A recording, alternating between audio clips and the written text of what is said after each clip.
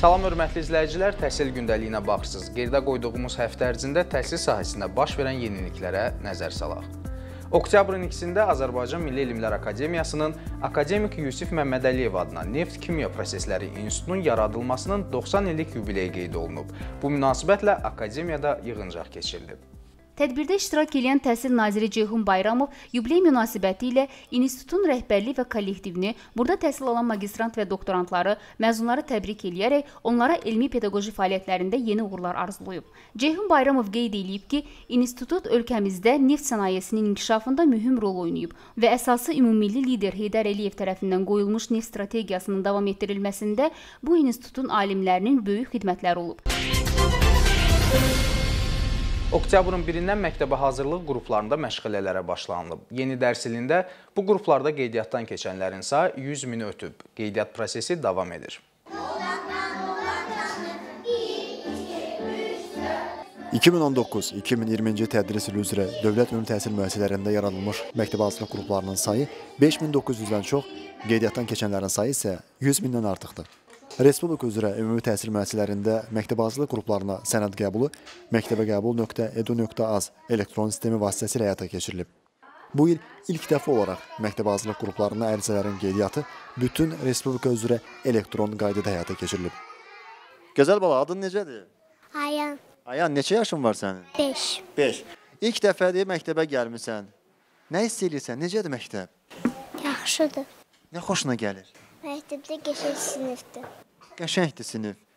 Və dərslər ilk dəfə müəllimlə görüşmüsən. Necədir müəllimin sənin? Qəşəngdir. Ərizələrin onlayn qeydiyyatı ölkə üzrə dövlət ümumi təhsil məktəbləri, o cümlədən məcburi köçkün məktəbləri və ümumi təhsil proqramı ilə təhsilin təşkil etdiyi internat məktəblərini əhatə edib. Mən Abdullayev Sahib və Abdullayeva Nigarın valideyniyəm. Oğlum 6-cı sinifdə oxuyur. Qızım da bu il məktəbə qədərə qoymuşam.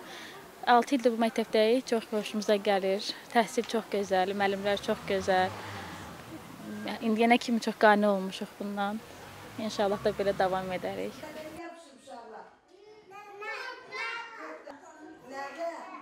Gördüyünüz kimi bu siniflərdə uşaqların bəziləri ayaq üstədir, bəziləri isə əyləşib. Bu da əbəs yerə deyil. Çünki biz hal-hazırda sağlam təhsil sinifindəyik və bu siniflərin əsas məqsədi də fiziki, psixi və mənəvi keyfiyyətləri yüksək olan, eyni zamanda yüksək yaradıcılıq qabiliyyətinə malik olan həm Azərbaycan, həm də dünya vətəndaşlarını yetişdirməkdir. Bu siniflərdə də bu gün məktəbə qədər təhsildə ilk dərs günüdür. Belə ki, 21 məktəbdə 28 məktəbə qədər hazırlıq qrupları sinifi təşkil olunub. Məktəbə qədər hazırlıq qrupunda təhsil alacaq 5 yaşlı şagirdlər məktəbə və dərslərə uyğunlaşma mərhələsini rahat keçsin deyə həm ənənəvi, həm də sağlam təhsil siniflərində məşğələlərə qatılacaqlar. Oktyabrın 4-də Bakı Konqres Mərkəzində sosial müdafiə xüsusi ehtiyacı olan istedadlı tələbələrin təhsil xərclərinin maliyyələşdirilməsinə dair ölkə prezidenti İlham Əliyevin göstərişinə əsasən Gənclər Fondu tərəfindən təşkil edilən müsabiqənin qalibləri ilə görüş keçirilib. Tədbirdə çıxış edən Təhsil naziri Ceyhun Bayramov ali təhsilin daha əlçatan olması üçün davamlı tədbirlərin həyata keçirildiyini bir daha xatırladıb. Dövlət vəsaiti hesabına təhsil alan tələbələrin sayının artdığını deyən nazir qeyd edib ki, cari ildə bu göstərici 66% artırılaraq 12300-dən 20500-ə çatdırılıb. Cari tədris ilində tələbələrə verilən təqaüdlərin məbləği orta hesabla 20% artırılıb. Bu tədbirlər 110 mindən çox tələbəni və doktorantı əhatə edib. Gənclər Fondu tərəfindən keçirilən müsabiqənin də məhz təhsilin hər kəs üçün əlçatanlılığının təmin olunmasına xidmət etdiyini deyən nazir, fondun təhsil müəssisələrinə xüsusi diqqət yetirdiyini sözlərinə əlavə edib. Çıxışın sonunda nazir 5 oktyabr Beynəlxalq Müəllimlər Günü münasibəti ilə bütün müəllimləri təbrik edib, onlara şərəfli, müqəddəs işlərində uğurlar arzulayıb. Xatırladaq ki, sosial müdafiəyə xüsusi ehtiyacı olan istedadlı tələbələrin təhsil xərclərinin maliyyələşdirilməsi üzrə 2018-ci ildə keçirilmiş müsabiqə nəticəsində 237, bu ilki müsabiqə nəticəsində isə 425 gəncin təhsil haqqı xərclərinin dövlət tərəfindən ödənilməsi qərarı alınıb. Ötən həftə Təhsil Televiziyası Bizim Direktor adlı yeni layihə təqdim edib. Layihə məktəb rəhbərlərini ictimaiyyətə daha yaxından tanıdacaq. İlk olaraq 212 nömrəli məktəbin rəhbəri Məlahət Rəhimovanı tanıyaq. İş günüm hər gün saat 8-in yarısından başlayır. Hamıdan əvvəl məktəbə gəlirəm. Təbii ki, məktəb kollektivini qarşılamalıyam. E, saat 8-də şagirdləri qəbul edirik, dərslər başlayır. Görəcəyimiz günümüzü planlaşdırırıq və daha sonra siniflərə baş çəkirik, davamiyyətlə maraqlanırıq. Mən özüm də 31 il ingilis dili müəllimi işləmişəm və bu illər ərzindəki təcrübəm mənə çox kömək edir. Hər bir şagirdin özəlliyi var. Dəcəl şagirddə dəcəllik onun özəlliyidir.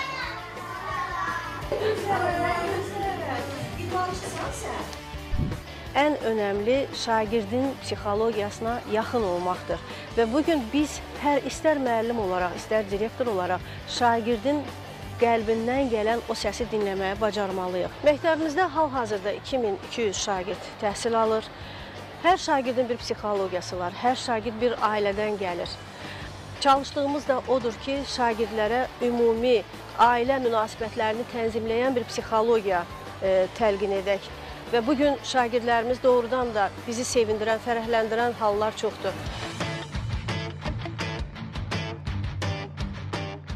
Bugünkü direktor dünənki direktordan fərqlidir. Bugünkü direktor məktəbi kamera arxasından yox, canlı olaraq izləməlidir. Məktəbin, şagirdlərin, müəllimlərin içində olmalıdır. Biz sinifdə uşaqlarla birlikdə də Lazım gəldikdə olur bəzən e, bəzi siniflərdə biz qızlarla ayrıca söhbət edirik. Çünki Azərbaycan xanımının o gözəl ləyaqəti deyək, biz bunu şagirdlərimizdə tərbiyə etməliyik. Bəzən lazım olanda qızlarla və ya oğlanlarla ayrıca da söhbət edirik. O dəcəlliyin şirinliyini görməyi bacarmalıyıq. O dəcəllikdə qaldıq deyəsən, elə dəcəllik yerinə düşdü.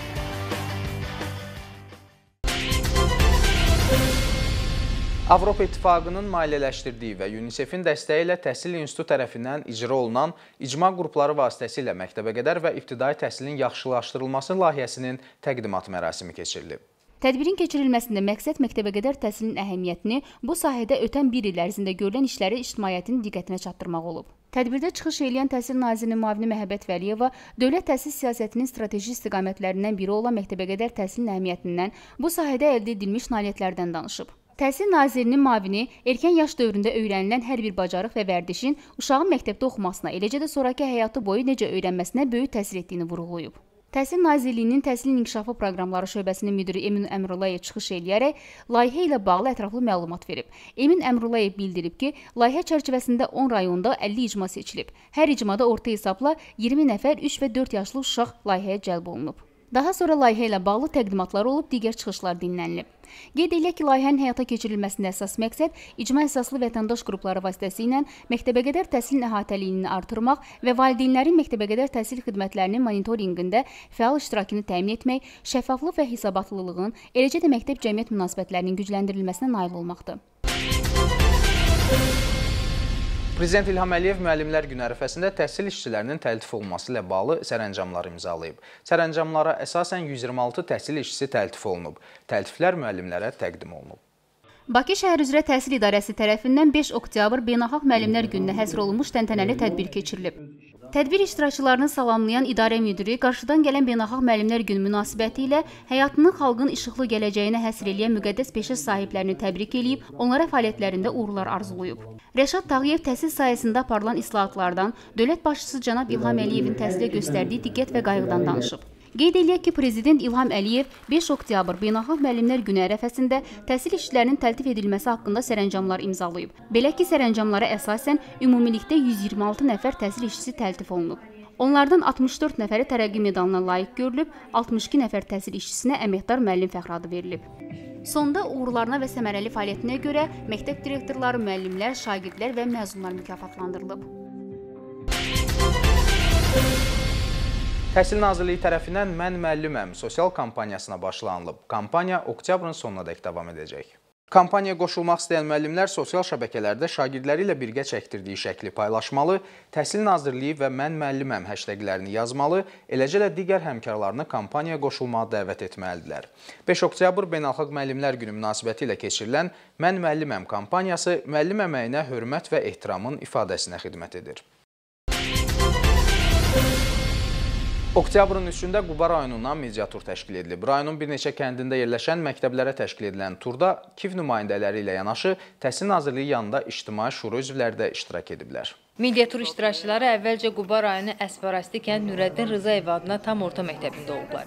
2016-cı ildə tikilib istifadəyə verilən məktəbdə 164 şagirdin təlim tərbiyəsi ilə 23 müəllim məşğul olur. Bu il məktəbə yüksək bal toplayan 4 yeni müəllim işə qəbul olunub. Həmin müəllimlərin dərs prosesi izlənib. Biz şahid olduq ki, məktəbdə e, kifayət qədər e, normal şərait yaradılıb tədris üçün. Məktəbin infrastrukturu şəhər məktəblərindən e, çox kəskin fərqlənmir, hətta kitabxanasına qədər. Bir mənalı şəkildə onu qeyd edeyim ki, əlbəttə e, bütün məktəbin e, fəaliyyəti, məktəbdəki tədrisin keyfiyyəti onun müəllimlərindən asılıdır. Bizə elə gəlirdi ki, müəllimlərin işə qəbul imtahanlarından yüksək bal toplamış müəllimlər yalnız şəhərə can atırlar. Əksinə biz gördük ki, ucqar kəndlərdə hətta Bakı Dövlət Universitetinin Riyaziyyat fakültəsini qırmızı diplomla bitirmiş, magistratura təhsilli 52 bal toplamış riyaziyyat müəllimi dərs keçir.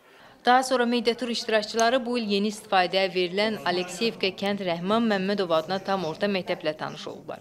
Mediatur iştirakçıları sinif otaqlarında dərslərin gedişini izləyiblər. Qonaqlar işə yeni qəbul olunan müəllimlərin dərs prosesi ilə də tanış olublar.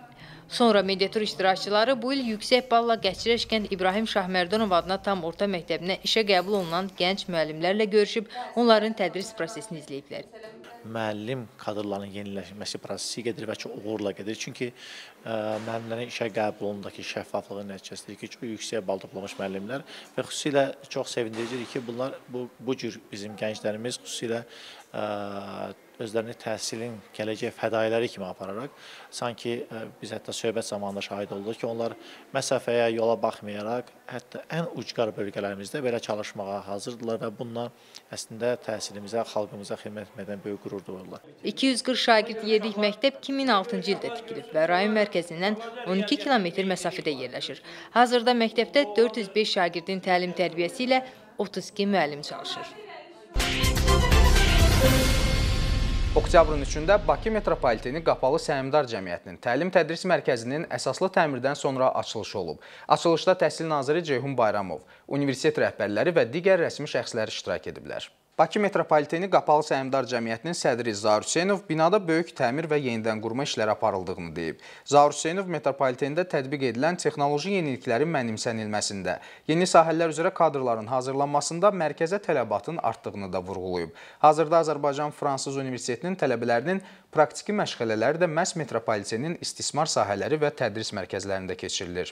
2014-cü ildən metropoliten üçün zəruri olan peşələr üzrə ixtisas artırma və yeni peşələrə yiyələnmə kurslarına hər il orta hesabla 809 işçinin cəlb edildiyini, imtahanların test üsulu ilə elektron qaydada aparıldığını diqqətə çatdıran Zaur Hüseynov UFAZ ilə yanaşı Dövlət Neft və Sənaye, Memarlıq və İnşaat, texniki universitetlərlə, həmçinin dəmir yolu və metropoliten üzrə Bakı Dövlət Peşə Təhsil Mərkəzi ilə səmərəli və sıx əməkdaşlığın aparılacağını deyib.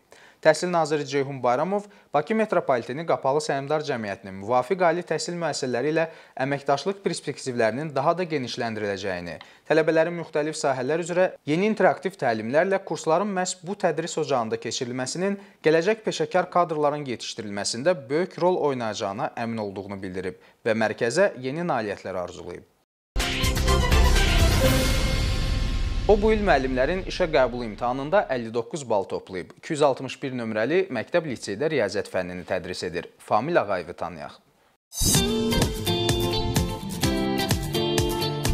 Bu il 2019-cu ildə müəllimlərin işə qəbulu imtahanında 59 balla 261 nömrəli məktəb liseyə qəbul olmuşam.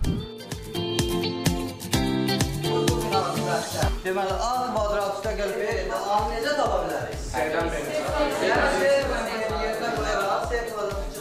Mən ilk dəfə e, özüm elə anadan olduğum İsmail rayonunun Buynuz kənd tam orta məktəbində müəllim işləmişəm. E, İlk belə deyək də müəllimlik təcrübəmi həmin məktəbdən başlamışam.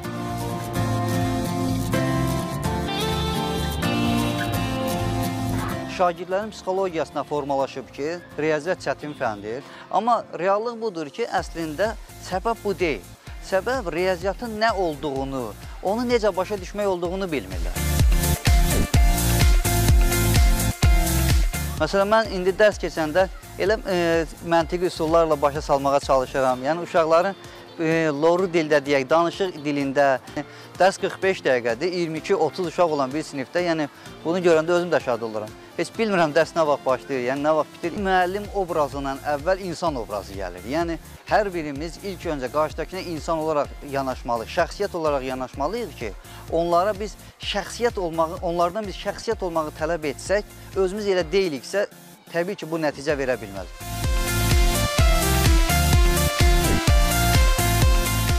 Riyaziyyata aid kitablarla, yəni şagird vaxtından da e, olimpiyada tipli məsələlərlə, sosial şəbəkələrdə məsələn suallarla məşğul oluram. Kim istəsə suallarını göndərir, şikayətini göndərir. Lazım olsa tez tanımadığım biri olur ki, e, məsləhət alır. O demək deyil ki, biz e, yüksək nəticə toplamışıqsa, biz artıq kamilik və bundan o tərəfə irəliləyişimiz yoxdur. Xeyr. Yəni biz hər nöqtəmizdə sıfırdan başlamağı bacarmalıyıq.